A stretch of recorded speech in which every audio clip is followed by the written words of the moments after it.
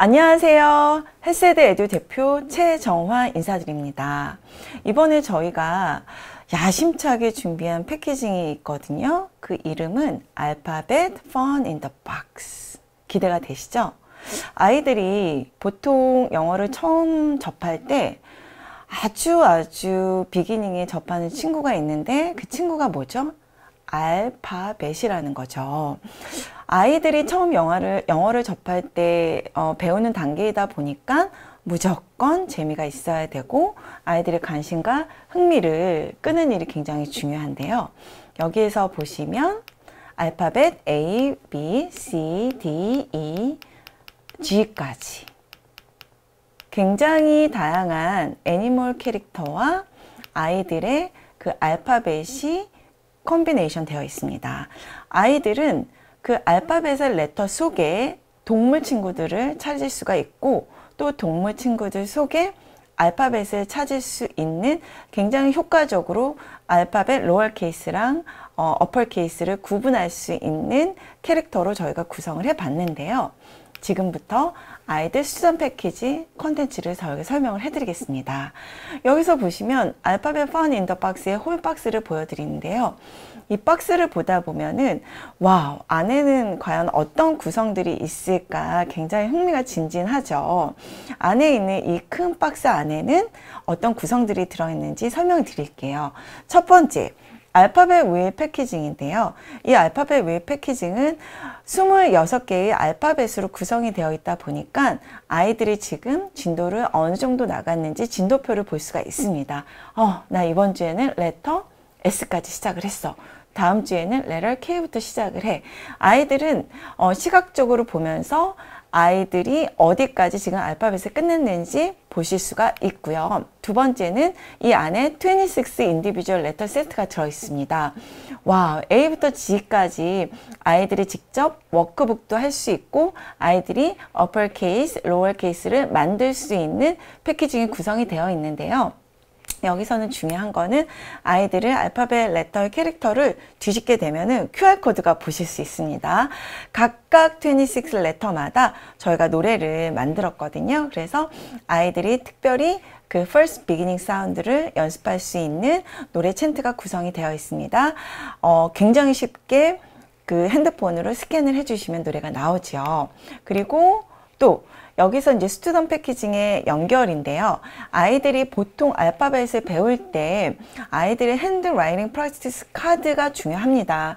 아이들이 알파벳 순서를 어, 미스하기 쉽고 굉장히 헷갈리기 쉬운데요. 이거는 저희가 26 letter 모두 직접 코팅을 해서 아이들이 저 요술펜으로 썼다 지웠다 하면서 아이들이 number one, number two, number three를 follow 하면서 썼다 지웠다 하면서 자연스럽게 알파벳의 순서를 익힐 수 있도록 저희가 구성을 했습니다.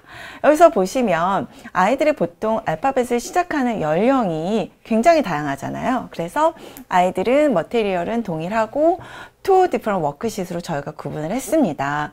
toddler worksheet는 어, toddler 워크북은 아이들이 보통 4살, 5살 정도 사용을 할 수가 있고요. kindy 워크북은 안에 내용들이 조금 더 문제들이 더 들어가 있잖아요. 이거는 보통 6살, 7살, 뭐 초등학교 1학년까지 사용을 하실 수가 있습니다. 그래서 알파벳은 주문할 때 toddler 버전이 있고 킨디 버전이 있다는 거 꼭 기억을 해주셨으면 좋겠습니다. 여기서 보시면 교사용 패키지가 저희가 특별히 마련을 했습니다. 교사용은 교사들이 아이들에게 어, 1대1 수업을 하거나 아니면 여러 명의 수업을 할 때 효과적으로 제시할 수 있는 여러 가지 재료들이 훨씬 더 많이 들어가 있는데요. 보라색 박스입니다. 그래서 Teachers Alphabet Fun in the Box 보라색으로 구성이 되어 있는데 아이들 학생용 패키지보다는 훨씬 더 크죠. 여기에서 아이들이 음, 선생님들 들어가는 packaging은 26 letter 패키지 A부터 Z가 들어가 있고요. 동일합니다. 그 다음에 워크북, craft material이 학생용과 동일하게 들어갑니다. 여기서도 아이 교사들이 kindy 버전인지 toddler 버전인지 같이 선택을 해서 주문을 주시면 되겠습니다. 여기서 동일하게 알파벳 wheel packaging이 들어가고요. handwriting practice card도 같이 들어가고요. 여기서 보시면 어, 학생용하고 구분해서 티처스 패키지에 들어가는 상품은 26 activity board packaging이 A부터 Z까지 들어가 있을 수 있습니다. 이 보드는 아이들의 big book 스타일로 훨씬 크게 아이들이 효과적으로 모든 activity를 follow하면서 따라할 수 있는 activity board가 들어 갈 수 있습니다. 그리고 여기서 가장 많이 어, 질문을 하시는 내용들은 이 큰 박스를 아이들이 얼마 만에 끝낼 수 있어요? 소화할 수 있어요? 이런 질문도 굉장히 많이 해주시거든요. 그래서 scope and sequence를 설명해 드리겠습니다. 알파벳은 26 letter로 구성이 되어 있잖아요. 그래서 만약에 어, 이 letter를 일주일에 세 번 한다. 한 letter에 30분 정도 시간이 소요하거든요. 아이들의 activity하고 만들기까지. 그러면 A, B, C를 이번 주에 Monday, Wednesday, Friday에 만약에 진행을 한다. 그러면 아이들은 총 9주의 수업을 할 수가 있습니다. 9주에서 10주. 10주는 마지막 리뷰를 할 수가 있는데요. 이 리뷰는 윌로 아이가 아까 제가 보여드렸던 알파벳 윌로 어, 리뷰를 진행하시는 것이 굉장히 효과적입니다. 그리고 만약에 우리 아이가 letter를 일주일에 두 번씩 한다. two times per week. 하게 되면은 아이들은 13주를 진행을 할 수가 있습니다. 13주에서 14주 정도. 저희 헤세드 에듀가 음, 추천을 해드리는 거는 일주일에 두 번 아니면 세 번 정도. 일주일에 한 번 진행하는 같은 경우에는 이제 조금 늘어질 수가 있거든요. 그래서 30분씩 일주일에 두 letter나 three letter 가시면 되겠습니다. 어, 여기서 보시면은 그럼 이 Alphabet Fun in the Box에 어떤 교육학적인 의미가 있을까 설명드리겠는데요. 여기서 보시면 알파벳을 보통은 아이들은 flash card로 배우거나 또 책으로 많이 배울 수가 있는데 저희 헤세드만의 어, 굉장히 special한 포인트는 뭐죠? hands-on activity가 들어갑니다. 아이들은 책을 좋아할까요? 아니면 만들기를 좋아할까요? 아이들은 무조건 만들기를 너무너무 행복합니다. 그게 뭐냐면 아이들이 만들기를 할 때 이런 오감을 굉장히 아이들은 자유자재로 쓸 수가 있습니다. 아이들은 우뇌로 배울 수가 있습니다. 첫 번째 hearing이 있을 수 있고 speaking, singing, moving, touching. 아이들은 이 여러 가지 요소들을 배우면서 우뇌로 아이들이 훨씬 더 오래, 오래 아이들이 재밌게 할 수 있는 이런 어, 핸즈온 어프로치가 저희가 진행이 되고요.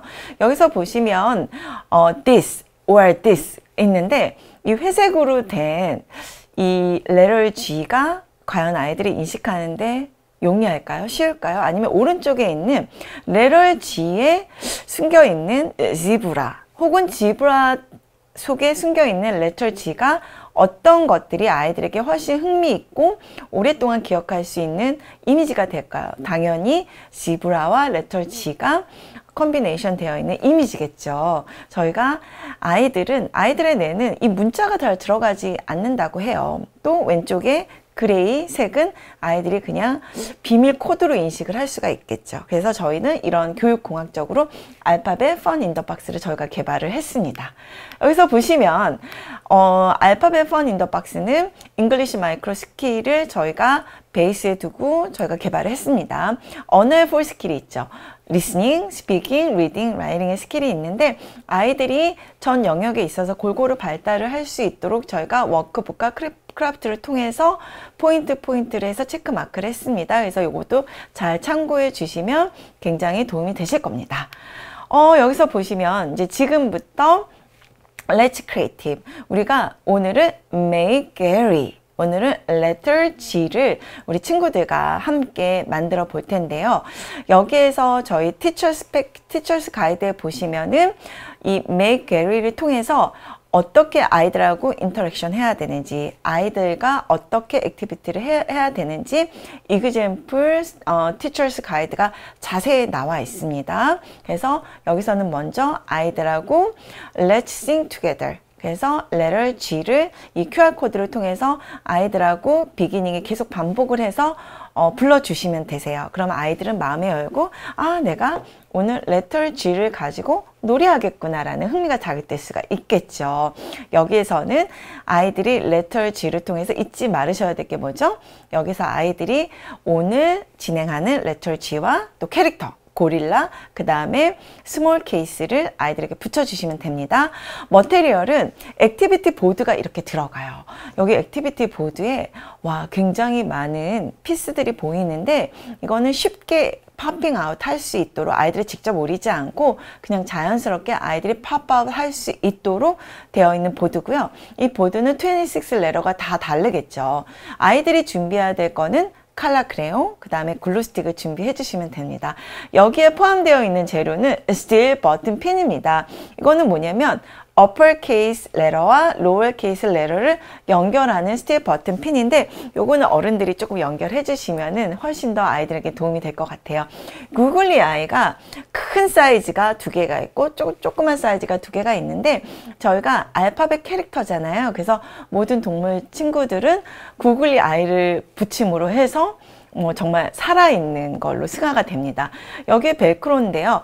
벨크로는 아이들이 교구제로 뗐다 붙였다 할 수 있도록 그냥 풀로 모든 걸 붙여버려서 아이들이 못 떼는 게 아니라 용이하게 아이들이 activity 할 수 있는 그런 재료들로 구성이 되어 있습니다.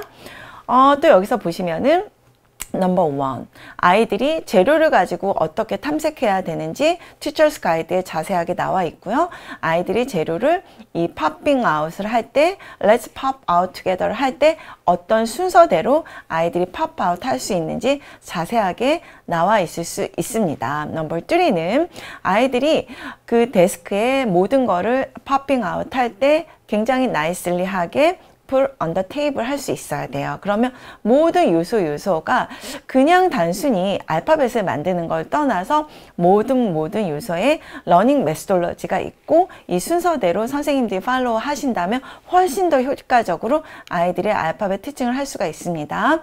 underneath 아이들이 모든 걸 뒤집어 뒤집어 놓으면은 아이들이 컬러로 봤을 때랑 이렇게 또 shadow 처리를 해서 white background로 봤을 때 선생님들은 I found a gorilla's arm and the goat head 이러면서 아이들이 마치 어, 숨은 그림을 찾듯이 선생님들은 아이들에게 asking 할 수가 있고 또 여기서는 QR코드도 같이 나와 있을 수 있습니다.